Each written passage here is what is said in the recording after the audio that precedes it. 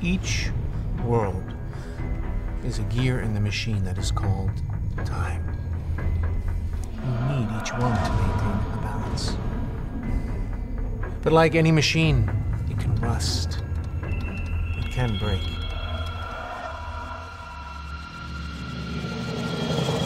And when it breaks, the symbiotic relationship between the worlds that sustains the balance of time and allows us all to exist is disrupted. Well, then we're always there to observe and fix it.